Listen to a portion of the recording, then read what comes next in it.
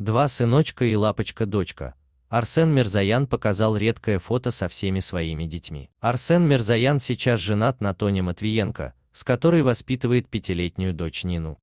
Однако он сохранил хорошие отношения с сыновьями от первого брака и даже ездит с ними отдыхать. Так сейчас артист вместе с супругой и всеми своими детьми проводит время в заснеженном Еремче. В своем инстаграм он поделился редким кадром, на котором запечатлен со всеми своими детьми, сыновьями Владом и Артемом и дочкой Ниной. На снимке довольное семейство снято на улице на фоне снеговика, которого они слепили. Отметим, что мальчики заметно подросли и даже уже стали выше звездного папы. Они живут вместе с мамой в Запорожье, но регулярно видятся с отцом. С Новым годом и Рождеством! Божьего всем благословения! Обратился к поклонникам Мерзаян. Пользователи сети также поздравили Арсена и его семью с праздниками и умилились семейному фото. С праздником! Снеговик Гуцул. Веселого Риздва.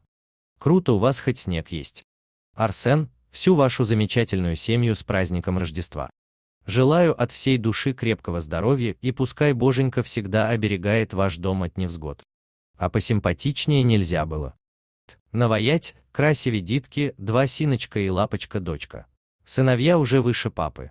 Напомним, ранее Нина Матвиенко сделала признание о переезде дочери с зятем в собственную квартиру.